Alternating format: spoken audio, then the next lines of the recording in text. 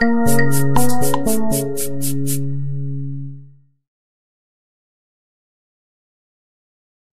Bonjour et bienvenue dans cette euh, nouvelle saison des conférences euh, géopolitiques de, l'Université de, Nantes.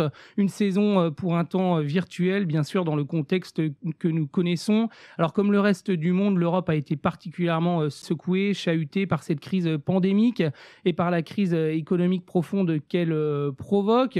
Une crise qui s'ajoute aux autres dossiers qu'elle a par ailleurs à, régler, au premier rang desquels, bien sûr, le, le Brexit et des circonstances particulières qui ont poussé l'Union à sortir de ses cadres politiques habituels et à faire montre d'une ambition qu'elle n'avait euh, peut-être plus affichée depuis euh, fort longtemps. Alors pour parler euh, de ces sujets et, de bien d'autres, nous, nous avons le plaisir de recevoir Monsieur Sébastien Maillard. Bonjour et merci d'avoir accepté notre invitation. Bonjour. Alors, Monsieur Maillard, vous êtes un très fin euh, connaisseur de l'Union européenne. Vous êtes directeur de l'Institut euh, Jacques Delors à Paris. Vous avez auparavant été journaliste à La Croix en tant que correspondant à, Bruxelles ou encore à Rome. Vous avez également enseigné à, Sciences Po et pour le Boston euh, College.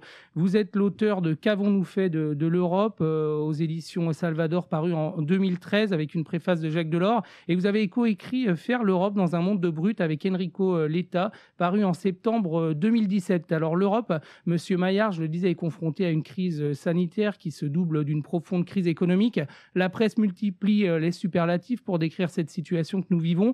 Euh, vous, vous la percevez euh, comment? Comment est-ce que vous la décririez? La crise sanitaire a été, je pense, une très grande et mauvaise surprise pour tous les Européens.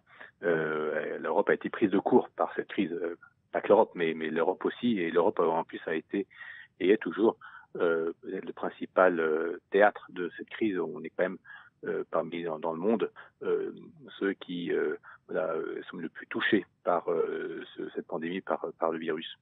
Et on a été pris de court puisque on n'a pas vu venir ce virus. et du coup, effectivement, si on se remonte au mois de mars de cette année, l'Europe n'a pas donné un beau spectacle d'elle-même en avec un, un sauf qui peut général, des frontières euh, euh, sans euh, prévenir les voisins, sans même notifier Bruxelles. Et du coup, effectivement, il y a eu un moment de, de panique, de, de, flottement, de chaos qui était vraiment très mauvais, de manque de solidarité. D'ailleurs, les, Italiens s'en souviennent bien. Euh, mais par contre, ce qui est peut-être différent par rapport aux autres crises, et effectivement, vous avez rappelé, l'Europe en a connu beaucoup ces dix dernières années. Euh, on remonte à la crise financière, la crise de l'euro, des dettes souveraines en zone euro, euh, le Brexit, euh, euh, la crise des migrants. Celle-ci, peut-être la, différence de, toutes les autres, c'est que d'une part, elle est effectivement d'une ampleur vraiment sans pareil et une dramatisation aussi énorme, puisqu'il est vraiment une question là de, de vie et de mort pour, pour beaucoup de nos compatriotes. Et puis, par ailleurs, c'est une une, une crise, je dirais, où là, on peut pas euh, pointer euh, un bouc émissaire. Euh, on peut pas dire c'est la faute aux Grecs, c'est la faute aux Brexiteurs, c'est la faute aux banques. c'est alors bien sûr, on peut dire parfois c'est la faute à la mondialisation, mais plus, largement, il n'y a pas vraiment de, de, de, fautif et tout le monde est frappé, euh, qu'on soit au nord ou au sud du continent, à l'est ou à l'ouest, tout le monde est frappé. Donc tout le monde est frappé et il n'y a pas de, de coupable désigné. Du coup, ça change tout, je dirais, dans la façon aussi dont les Européens peuvent traiter cette crise, puisqu'il n'y a pas ce qu'on appelle en économie un aléa moral, euh, je dirais, qui a pu peser dans le traitement d'autres crises. Et donc ça, c'est très important euh, pour la, la, façon dont, dont l'Europe euh, appréhende euh, ce défi. Est-ce qu'on peut dire que la pandémie et aussi la, crise euh, économique qui, va avec, malheureusement, affectent euh, différemment les pays qui, qui composent l'Union européenne ou peut-on euh, généraliser en affirmant que la situation finalement est assez catastrophique partout? Il faudra voir à la fin. mais effectivement, elle a commencé avant tout en Italie, je l'ai rappelé. elle a beaucoup touché l'Espagne, elle touche aussi beaucoup la France, beaucoup moins aussi au départ que dans le Nord. Mais on voit aujourd'hui, par exemple, des pays qui au départ, dans la première vague, étaient davantage à l'abri, comme euh, euh, à, la Pologne ou à l'Est, aujourd'hui se retrouvent euh, en, première ligne. Euh, même des pays qui ont essayé aussi d'autres méthodes, comme les Pays-Bas ou la Suède, se retrouvent aussi durement touchés, y compris aujourd'hui aussi l'Allemagne. Donc, on voit qu'avec cette deuxième vague du virus, que le, virus frappe un peu partout de manière effectivement assez inégale. Il ne fera pas non plus les, les, classes d'âge, les, les, les, personnes selon leur situation sociale aussi sont inégalement touchées économiquement. Mais je dirais qu'on soit riche ou pauvre, qu'on soit du au nord ou au sud, qu'on soit à l'est à l'ouest, on est directement concerné par cette crise sanitaire et aussi par la, crise économique de manière différente. Mais quand même, personne ne peut dire que il, il, il, il n'est pas concerné. Et deuxième chose, c'est que cette crise, elle a vraiment euh, révélé, mais presque de manière euh, euh, euh concrète et presque dans, dans, dans notre chair, qu'on était interdépendants. je pense qu'on n'a jamais autant ressenti entre nous, Européens, à quel point on était vraiment interdépendants, qu'aucun pays pouvait prétendre s'en sortir seul dans cette crise, que ce soit sur le plan sanitaire ou sur le plan économique on a ressenti cette très forte interdépendance entre nous et en même temps on a ressenti une très forte dépendance vis-à-vis euh, de la Chine ou de l'Inde. Je pense notamment à la production des médicaments, à la production d'équipements de protection, la fameuse euh, guerre des masques. Et du coup, euh, cette interdépendance entre nous et cette dépendance ressentie, je pense, a aussi agi pour la prise de conscience que les Européens ont, ont d'eux-mêmes dans, dans, dans le monde et aussi du besoin de cette Union européenne. Alors, Monsieur Maillard, on, s'en souvient euh, quand la première euh, vague de cette épidémie était euh, survenue, il y avait de très fortes critiques sur une sorte de lenteur au démarrage de la réponse européenne, notamment de la Commission et de sa présidente, Ursula von der Leyen. S'est-elle bien rattrapée, selon vous, cette, commission, notamment avec cette initiative d'un emprunt massif et d'un plan de relance d'ampleur inédite hein, pour essayer de remettre la machine économique en route? Oui, euh, je l'ai rappelé au début, il y a eu un vrai effectivement retard à, l'allumage, je dirais pas seulement de la, la Commission européenne, mais je dirais de l'ensemble des, des, des, même des États membres. Si on se souvient, vous, le, dernier Conseil européen qui avait eu lieu en, physiquement euh, fin février, le 20-21 février, euh, c'était déjà d'ailleurs sur le budget euh, européen. il n'y avait pas un mot à ce moment-là de la pandémie qui allait arriver. et alors que quelques semaines après, beaucoup d'Européens se retrouvaient confinés. Donc, je dirais le fait que ce que la, la Commission n'a pas été la seule institution euh, prise de court. Euh, mais c'est vrai qu'elle a non seulement euh, s'est un peu abritée au début sur le fait qu'elle avait très peu de, de, de compétences en matière de santé humaine, et, et c'est vrai que c'est pas à elle de directement gérer les soins de santé qui, on le sait, sont euh, de compétences nationales et même dans plusieurs pays, en Italie, en Espagne, en Allemagne, c'est au niveau régional que, que ça se que c'est le, le, que c'est géré.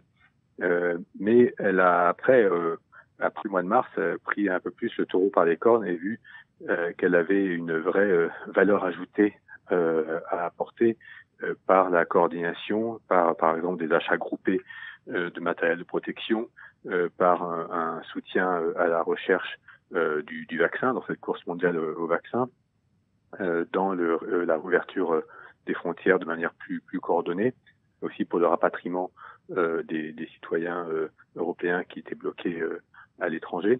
Et puis, c'est surtout bien sûr sur le volet économique, là où l'Europe a le plus de compétences directes, qu'elle a, je dirais, mis le paquet. D'abord, ça a commencé, vous, souvenez-vous, avec la suspension du pacte de stabilité, qui, vous savez, encadre les règles budgétaires, et le fait qu'il soit comme ça provisoirement gelé, c'était une première historique. Et puis, par ailleurs aussi, euh, il y a aussi un vrai assouplissement euh, du régime des, des aides d'État euh, pour que les États puissent mieux soutenir directement leurs entreprises. Donc il y a eu là-dessus un, preuve de, de, de, de, très grande souplesse assez vite après.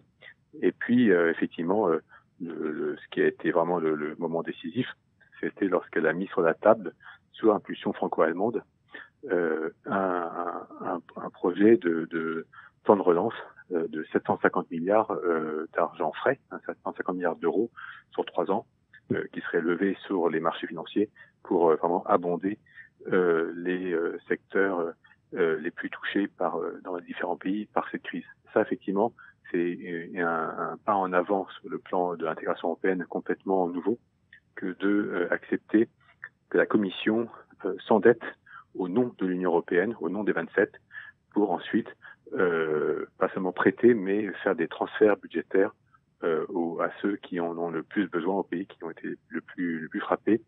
Et, ça, c'est effectivement une, une solidarité euh, nouvelle qui, j'espère, fera date. Alors certains, justement, ont parlé d'un moment hamiltonien, d'un saut fédéral que signifiait aussi ce, grand emprunt, ce nouveau dispositif. Est-ce que c'est aussi votre, c'est aussi votre avis?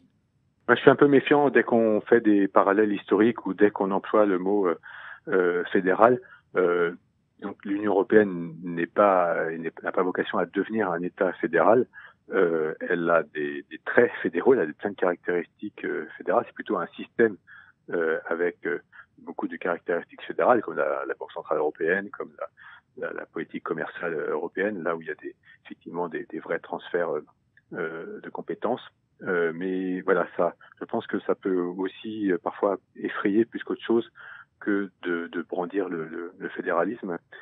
pour certains pays, vous savez, qui était très réticent à mettre en œuvre cette solidarité.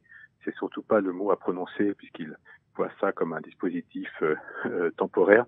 Mais c'est vrai que le fait qu'on accepte à 27 de s'endetter pendant une trentaine d'années euh, pour vraiment soutenir ceux qui, les, secteurs et les pays qui en ont le plus besoin, le fait que cette dette sera remboursée normalement non pas par les États mais par des nouvelles ressources propres une autre façon de parler, une sorte de taxe européenne euh, créée pour euh, abonder euh, le budget européen et ainsi rembourser ce futur prêt. Je pense que tout ça, effectivement, va dans le sens d'une plus forte intégration. Mais l'Union européenne, vous savez, elle répond à aucun modèle prédéfini. donc, il y a effectivement des caractéristiques fédérales, mais on ne peut pas l'enfermer dans une étiquette fédéraliste par rapport à un modèle préexistant. Alors avant la pandémie, euh, le grand projet de la, nouvelle euh, commission, c'était le Green Deal. Euh, est-ce que cette grande initiative va-t-elle pouvoir être sauvegardée selon vous ou en partie mise de côté pour donner la, priorité au sauvetage de la situation économique?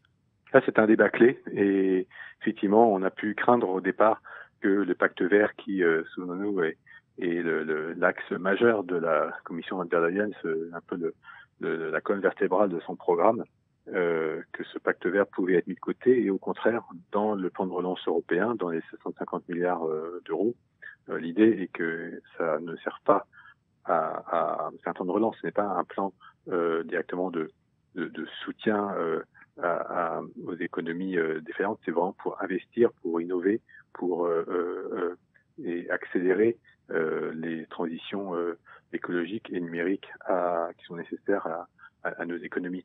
Donc c'est pour euh, davantage transformer, c'est un puissant stimulant à la transformation de, de l'économie. En tout cas, c'est la, la, façon dont les plans nationaux de relance doivent être conçus. Et on sait, vous savez, qu'il y a euh, euh un principe qui a été acté pour euh, la façon dont ces plans de relance seront nationaux seront évalués, c'est qu'ils ne doivent pas justement faire de tort et menacer les, les objectifs climatiques européens qui on sait sont, sont ambitieux. Donc euh, non, j'espère bien. En tout cas, c'est la, la, volonté aussi d'ailleurs du, du, Parlement européen euh, de faire en sorte que euh, ce, ce, cette, cette, relance soit une relance verte et euh, socialement la plus juste possible, puisqu'on sait que lorsqu'on transforme une économie, lorsqu'il y a des reconversions professionnelles à faire, lorsqu'il y a, euh, par exemple, la rénovation thermique des bâtiments exige beaucoup de nouvelles compétences, de nouvelles main-d'œuvre, eh bien, effectivement, tout ça doit être socialement accompagné. Donc euh, c'est une transition euh, euh, écologique qui exige aussi d'être socialement juste pour vraiment être opérante. Alors un autre grand dossier du, moment, évidemment, même s'il est passé un peu en retrait du fait de, la crise pandémique, c'est évidemment le Brexit. Est-ce que les différents dispositifs d'emprunt, de relance, tout ça, selon vous, aurait été possible avec le Royaume-Uni toujours dans l'Union? Non, je pense que non. Je sais si je suis triste que le Royaume-Uni sorte de l'Union européenne et que le Brexit est vraiment une mauvaise nouvelle et, ne fait que des, perdants. Mais euh, on n'aurait sans doute pas obtenu un accord euh, historique comme en juillet à 27 avec euh, le Royaume-Uni et ce serait sans doute opposé d'une part, même avant cela, à la mise en place d'un instrument temporaire euh, de soutien euh, aux dispositifs nationaux de chômage partiel, ce qu'on appelle le mécanisme sûr, euh, dont plusieurs pays euh, profitent pour une, sorte, euh, un embryon peut-être de, de, de, de, de, chômage, de réassurance chômage européenne. Donc ça, il n'aurait sans doute pas appuyé cela. Euh, et sur le plan de relance de 750 milliards, euh, avec tout effectivement ce, ce, mécanisme, cette solidarité entre pays et des ressources propres nouvelles pour le budget européen. Tout cela aurait été très très dur à négocier, sinon impossible avec avec les Britanniques. Donc ça montre effectivement que le Brexit n'empêche pas les 27 d'avancer, même si on voit actuellement, au moment où nous parlons, que ce plan de relance reste difficile à, à, mettre en œuvre à cause d'autres vétos, là non pas euh, du côté britannique, mais euh, maintenant du côté de la Hongrie et de la Pologne. Alors concernant le Brexit, on arrive au terme de, cette phase de, transition. Euh, J'imagine qu'on vous a posé la, question un nombre incalculable de fois, mais vous pensez qu'on va euh, quand même arriver à un accord? Je pense que Boris Johnson euh, le souhaite et il a tout intérêt. Euh, Souvenons-nous que près de 50% des, échanges du Royaume-Uni sont avec l'Union européenne, alors que l'Union européenne euh, euh échange certes avec le Royaume-Uni, mais pas dans les mêmes proportions. Euh, du coup, je dirais c'est encore plus dans leur intérêt euh, à eux britanniques d'avoir un accord et de, ne pas avoir de, de droits de douane ni de quotas pour leurs importations et leurs exportations avec le marché européen qui est leur premier marché. donc, on ne voit pas effectivement quel serait leur intérêt propre à avoir un, un no deal euh, sauf à vraiment s'affranchir euh, et revoir complètement leur, leur modèle euh, de, de croissance pour ne plus être aussi entre guillemets dépendant de, du marché européen. mais ça veut dire aussi un coût économique énorme pour eux, en tout cas à, à court terme. donc on peut être confiant qu'un un deal finira par être trouvé, mais comme très souvent à la, à la toute dernière minute, alors pour essayer d'obtenir le, le maximum des 27 qui, euh, jusqu'à maintenant, se sont montrés euh, remarquablement euh, unis sur ce dossier derrière Michel Barnier. C'était, souvenez-vous, une crainte parce le Brexit en 2016 que ça entraîne une désunion, que les, différents pays se, se, se, sur cette question et au contraire, euh, chacun est, bien euh, euh, euh, à la surprise peut-être des Britanniques, bien euh, unis pour défendre euh, l'acquis que représente ce marché européen. Alors vous l'avez dit, hein, cette perspective du, Brexit, elle vous, euh, elle vous attriste, mais cette saga qui dure depuis euh, finalement 2016, un saga entre guillemets, c'est, pour vous un gâchis, une étape, une clarification qui était néanmoins euh, indispensable? On avait déjà fait beaucoup pour que les Britanniques et un, un statut spécial. Euh, ils n'étaient pas dans l'euro, ils n'étaient pas dans Schengen. Dans son temps, Jacques Delors avait euh, négocié avec euh, John Major un, un opt-out pour euh, euh, la, sur les, les, les, droits sociaux. Euh, donc vraiment, c'est un, pays qui avait déjà, je dirais, un, statut tout à fait à part et qui aurait pu, je dirais, en, bénéficier, je dirais, de cette position et il était très influent au sein de la, de, des institutions européennes, notamment de la Commission. Donc oui, c'est du gâchis. C'est d'ailleurs Michel Barnier a cette expression, c'est un accord perdant-perdant, puisque on voit pas bien quel est l'intérêt du, du Royaume-Uni de, de, donc de de ne plus être dans l'Union et inversement, euh, effectivement pour l'Union européenne, pour le projet même d'unir le continent, euh, bah, le faire sans un grand pays comme le Royaume-Uni, euh, c'est un peu comme amputer d'un bras. Euh, le Royaume-Uni, c'est euh, un pays, euh, les Brexiteurs le veuillent non, c'est un pays d'Europe, de notre continent. Et donc, c'est quelque part, imaginer à l'avenir l'Union européenne sans le Royaume-Uni, par rapport à la place qu'on souhaiterait avoir dans le monde comme Union européenne pour être une, une puissance plus, plus, plus influente, plus, plus, plus écouté, euh, oui, le, le Royaume-Uni va nous manquer.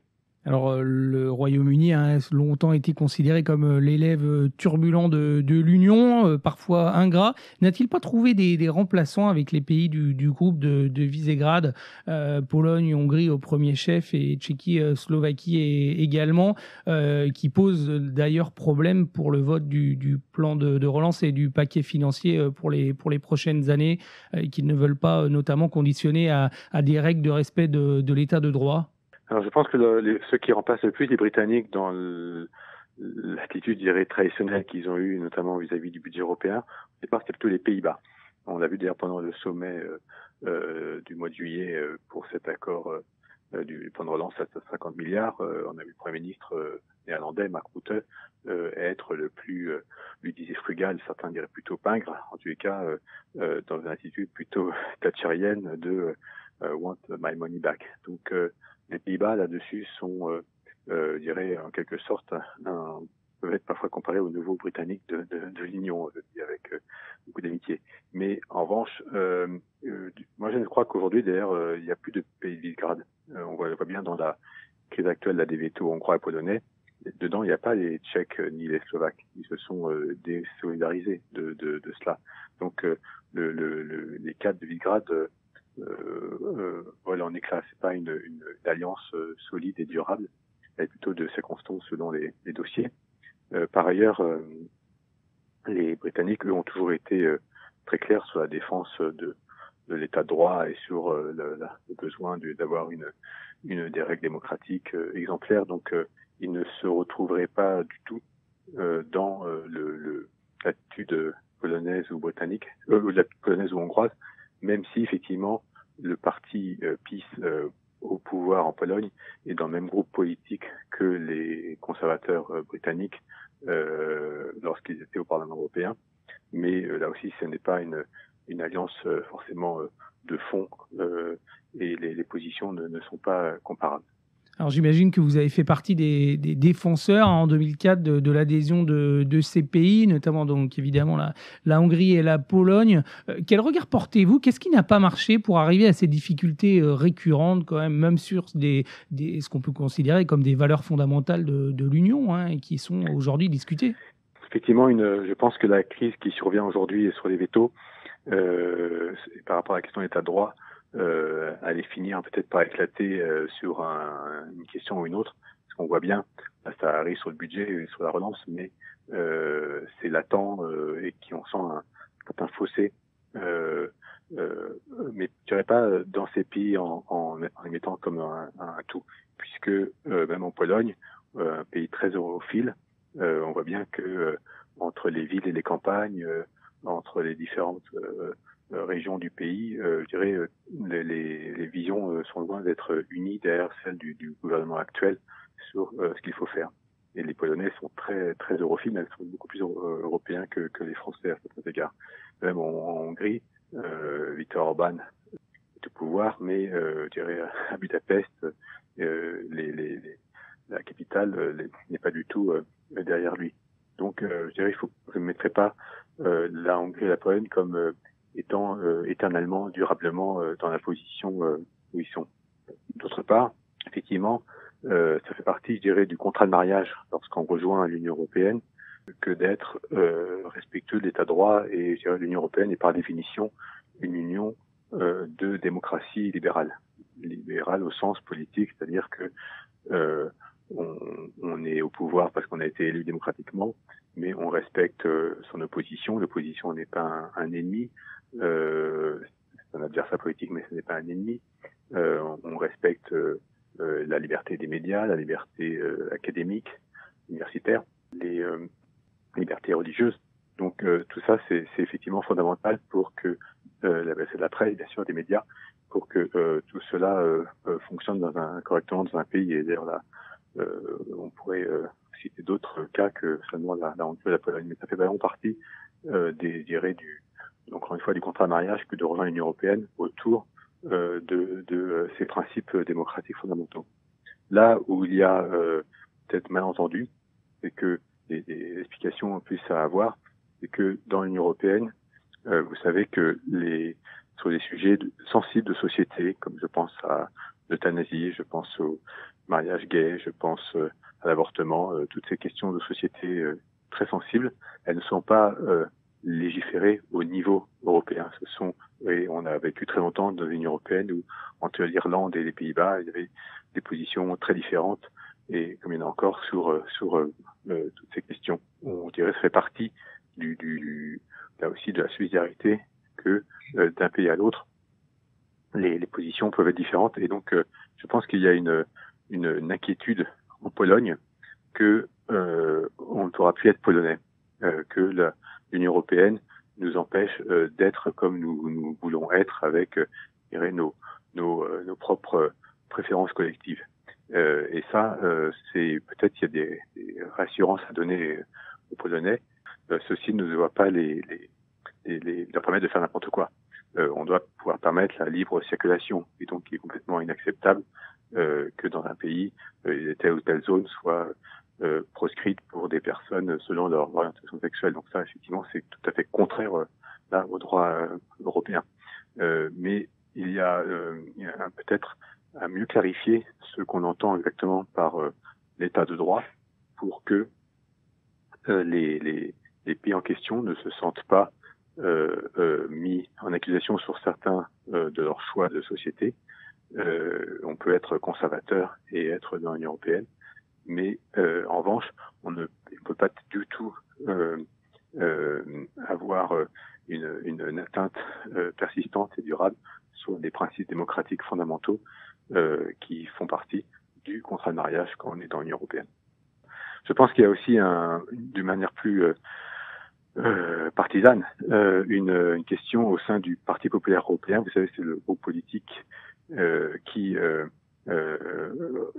regroupe tous les chrétiens démocrates, que ce soit la CDU allemande ou le parti euh, euh de, de, Orban, qui on sait, bien qu'il soit suspendu, fait toujours officiellement partie du PPE, euh, comme aussi le parti du, du Premier ministre slovène euh, et bulgare. Et du coup, euh, je pense qu'au sein de cette famille politique, la première famille politique la, plus, la plus influente actuellement dans l'Union européenne, il y a sans doute aussi une clarification à avoir euh, en son sein sur quels sont les, vraiment les, les, les valeurs et fondamentaux qui les rapprochent. Clarification qui, qui tarde à venir, hein, parce que ça fait quand même longtemps qu'on qu en discute. Oui, exactement. Alors, dans la très récente interview qu'Emmanuel Macron a donnée aux médias euh, Le Grand Continent, le président français s'est attribué un satisfait affirmant que la crise avait euh, finalement validé ses préconisations faites à son arrivée à l'Élysée, notamment sur l'autonomie et la souveraineté euh, européenne, des concepts qu'il avait détaillés lors de deux discours à Athènes et à la Sorbonne. Est-ce que vous partagez cette analyse? Alors, sur le, choix des mots, pas sûr que tout le monde en Europe parle de souveraineté européenne. D'ailleurs, lui-même, dans cette interview, Macron reconnaît que ce terme était peut-être un peu excessif et il, il préfère aussi celui d'autonomie euh, stratégique. Mais c'est vrai que euh, du fait du Brexit, du fait euh, du euh, de l'élection de Donald Trump aux États-Unis et d'une d'un éloignement euh, du partenaire euh, de l'allié américain, du fait aussi de d'autoritarisme turc, russe, euh, chinois, enfin tout ce qui a inspiré euh, le livre que vous citiez au départ, euh, que j'ai pu faire avec notre président Nicoletta, euh, l'Europe dans un monde de brut. Bah, ce monde de brut, c'est vrai qu'il incite les Européens à davantage euh, s'affirmer, à voir que les valeurs qui les unissent euh, sont pas forcément partagées pour tout le monde, et surtout aussi à prendre conscience qu'ils peuvent eux-mêmes être pris pour ennemis. on se souvient de la déclaration de Donald Trump disant que l'Europe était son, son ennemi et, et que voilà la, la, Russie ne veut pas du bien euh, euh, à l'Union européenne, qu'on cherche plutôt à nous à nous diviser. Et du coup, euh, la France a, a, a beaucoup euh, mis le, le, le, pied sur l'accélérateur de la prise de conscience des Européens de cet état de fait, pour effectivement que à l'avenir on, on, soit davantage euh, qu'on prenne mieux en compte la dimension géopolitique de l'action européenne. Lorsqu'on mène une politique de concurrence, lorsqu'on mène de recherche, euh, de euh, commercial, euh, lorsque on, on, a un marché intérieur à faire fonctionner, on ne peut pas complètement faire abstraction de l'état du monde et de son évolution et le fait qu'il soit plus brutal, plus mouvant. Et du coup, ça oblige les Européens à avancer là-dessus. Effectivement, c'est une thèse française qui a, a, a, a fait son chemin devant l'évolution du monde. Donc, je pense que Macron peut s'en féliciter. Je pense qu'il n'a pas intérêt à, à le faire trop puisque euh, au sens où le, plus une, une idée est, est, est, personnalisée, plus aussi elle peut diviser. Du coup, euh, c'est important que, je dirais, la, la France peut se féliciter euh, de l'avancée de, de, de, sa façon de voir l'Europe, euh, d'avoir la sentir mieux partagée par euh, euh, ses homologues, sans forcément trop le dire. On a souvent accusé Angela Merkel d'être une européenne assez tiède aussi, mais peut-on dire que la chancelière allemande a aussi joué un grand rôle dans les, dernières évolutions auxquelles on a assisté, euh, notamment les, décisions inédites hein, prises les derniers mois et que vous rappeliez? Oui, le temps de relance dont on parlait au début, du, du, ce qui a été conclu au mois de juillet, eût été impossible et inenvisageable sans, sans elle. Euh, ça a été au départ d'ailleurs une impulsion franco-allemande. Je pense que le fait que dans cette euh, crise économique euh, consécutive à la pandémie, la chancelière allemande, qui pourtant s'était effectivement jurée de jamais aller sur le terrain de la dette mutuelle entre Européens, a, a, été pragmatique et a vu que là, on était face à une, nouvelle donne complète qu'elle avait, euh, encore une fois, il n'y avait pas d'aléa moral sur euh, un, État plus fautif que l'autre dans la façon dont, dont, on pourrait être touché par ce virus. Et par ailleurs, c'était aussi dans son intérêt bien compris de son économie euh, que d'avoir euh, des pays européens euh, relevés et en état de, marche pour, commercer avec et échanger avec l'Allemagne. Du coup, à la veille de, sa présidence européenne du Conseil qu'elle poursuit ce semestre, elle a effectivement quitté le camp des, des, frugaux dont je parlais, comme les Pays-Bas, l'Autriche ou la Suède, pour vraiment se rallier à une autre, à un autre positionnement et ça a été complètement décisif pour ce qui est survenu cet été. Alors il y a euh, cette crise a entraîné certaines révolutions pour l'Union. Est-ce qu'il y aurait besoin encore d'autres euh, évolutions urgentes? Notamment, euh, on évoque depuis des années l'idée de passer à la majorité qualifiée sur certains domaines pour fluidifier la, la prise de, de décision. C'est des sujets dont on parle mais qui avancent finalement peu. Est-ce qu'il faudrait vraiment, selon vous, avancer là-dessus? Oui, ça a été. je pense que c'est justement quand je parlais d'une Europe plus géopolitique je pense que sur le terrain de une Europe euh, qui s'affirme davantage comme euh, une puissance euh, dans le monde, qui a des, qui arrive à, à, voir où sont ses intérêts et les valeurs qu'elle veut défendre. Là, il y a encore des, des, progrès à faire, et là aussi, la façon dont l'Allemagne euh, euh, se positionnera, si elle estime que maintenant, avec un président comme Joe Biden, on peut revenir un peu au, à ce qui, à l'alliance d'autrefois. je pense effectivement ça, cette, cette Europe puissance mettra davantage de temps à, à vraiment s'affirmer. Donc euh, là-dessus, il y a, il y a, dirais, encore euh, beaucoup de, de marge de progrès euh, euh, à faire, même si les choses bougent. et on voit aussi que sur l'Europe de la santé, alors c'est un, un, slogan de parler d'Europe de la santé, mais sur le fait de, de davantage prévenir les maladies, de mieux coordonner les épidémies lorsqu'elles surviennent, d'avoir des agences européennes plus mieux armés pour euh, y faire face et donner des recommandations euh, au pays pour euh, faire même des, sortes de stress tests sur nos, systèmes de santé, voir si on est prêt à y faire face. Là, il y a aussi des, progrès et, un terrain où l'Europe, la plus-value européenne peut montrer toute sa force. Au niveau des peuples, euh, savez-vous si cette crise a fait augmenter l'envie d'union à travers l'Europe La conférence sur le futur de l'Europe annoncée, mais encore dans les, dans les limbes, peut-elle, selon vous, être le cadre d'une véritable réflexion citoyenne euh, et porter des propositions euh, concrètes? Euh, C'est le but, en tout cas. Emmanuel Macron a proposé cette conférence dans cet esprit pour que euh, les citoyens soient davantage aussi euh, associés à la, la réflexion euh, et au débat d'idées sur sur l'Europe. Et d'ailleurs, nous, à l'Institut Jacques Delors, on compte bien y prendre notre notre part. je pense que la, la encore une fois, la, cette crise a montré, on a bien ressenti notre interdépendance entre nous et notre dépendance vis-à-vis d'autres puissances dans le monde et le fait qu'on c'est un peu humiliant de devoir dépendre à ce point euh, d'autres pays pour euh, pour euh, se, être fournis.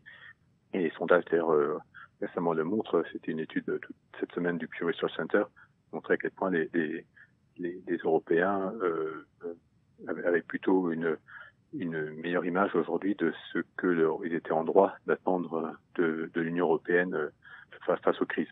Donc, dans un monde plus dangereux, plus brutal, plus mouvant, plus incertain, c'est sans doute euh, la meilleure voie euh, et c'est mieux compris de la, sorte, y compris d'ailleurs aussi face au changement climatique, face à des risques systémiques euh, qui, qui pèsent sur nous. On voit bien aussi que dans cette euh, crise, en tout cas à ce stade, mais ça peut évoluer selon euh, la façon dont elle va ou non empirer la, la durée, mais à ce stade, euh, les, les, les, les, partis les plus populistes n'ont pas fait recette pendant cette période. On le voit d'ailleurs par exemple avec le, le sort d'un Matteo Salvini en Italie. Alors l'actualité internationale de ces dernières semaines, euh, Monsieur Maillard, c'est bien entendu l'élection euh, américaine, cette élection de Joe Biden. Après quatre ans de mandat de Donald Trump marqué par des mots durs de part et d'autre et divers contentieux, est-ce que tout est d'après vous à reconstruire dans les, dans les relations transatlantiques? Tout n'est pas euh, à, à, reconstruire, mais il faut l'Europe peut-être mieux comprendre ce qu'elle a en droit d'attendre ou non de son allié américain qui a d'autres priorités. On, imagine bien que Joe Biden a lui-même un pays à, réunifier, euh, un pays, qui, les États-Unis, qui se montre très euh, divisé, polarisé à travers euh, cette, élection et, pendant le mandat de Trump. Donc, il n'aura peut-être pas forcément envie de se mêler de toutes les crises qui surviennent dans le pourtour européen. Et on sait bien que du Sahel jusqu'en Biélorussie, en passant par le Caucase, euh, le, le, voisinage européen est chahuté et euh, l'Europe doit aussi apprendre à, à, davantage peser sur euh, je dirais, ce qui, ce qui est dans son, dans son, je pense aussi au Balkan, dans, dans, dans son voisinage immédiat, sans euh, attendre de les États-Unis. Et ça, ça effectivement, même avec Joe Biden, c'est une, une donne qui, que les Européens doivent beaucoup mieux intégrer. Alors certains acteurs européens ont dit que Donald Trump finalement était, avait été euh, malgré lui, un promoteur de l'unité européenne. Alors aujourd'hui, alors qu'on va finir par sonner, euh, que va finir par sonner l'heure du bilan, euh, peut-on véritablement dire qu'il aura concrètement fait avancer l'Union dans certains domaines comme la, défense? Ça reste, effectivement, c'est très tôt pour, pour le dire. parfois, effectivement, on peut s'amuser à dire que c'était notre meilleur ennemi.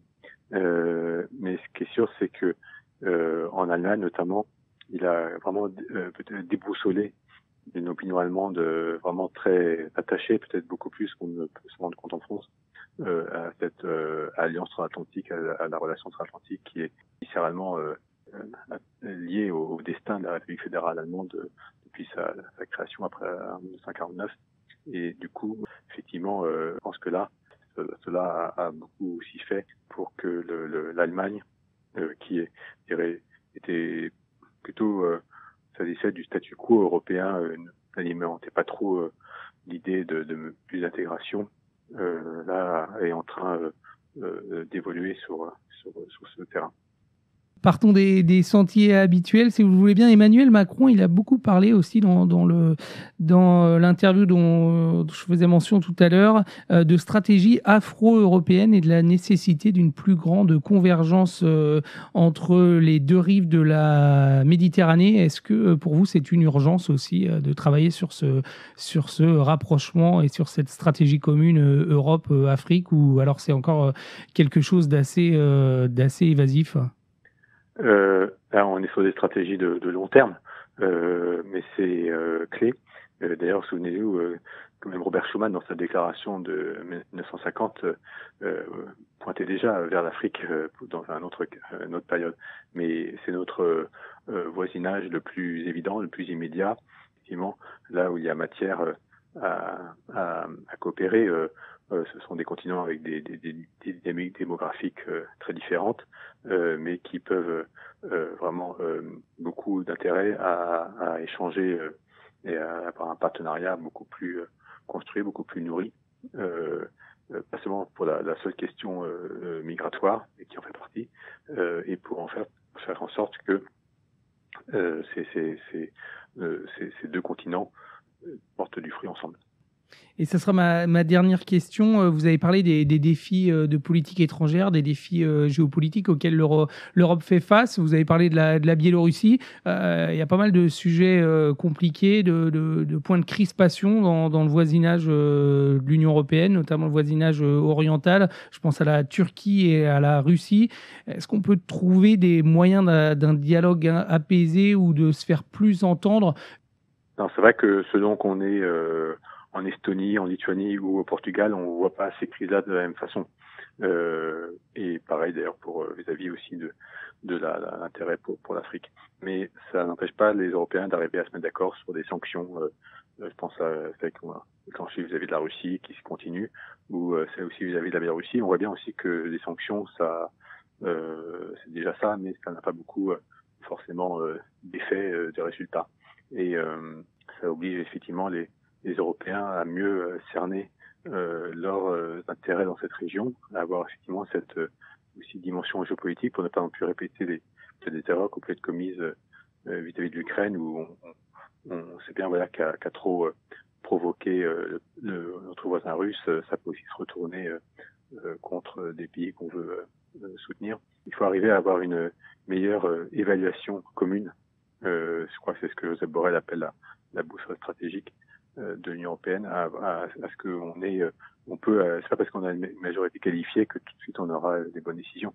Il faut aussi avoir une meilleure évaluation commune, une culture commune de de nos la façon dont on analyse notre voisinage et nos intérêts et nos valeurs que qu'on veut souhaite y, y, défendre.